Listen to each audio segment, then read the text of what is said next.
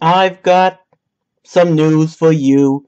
Come to my K.C. school, and I'll make you cool, more cool than the color blue. Just go in my pool, then play a game of pool, and that's how you turn cool.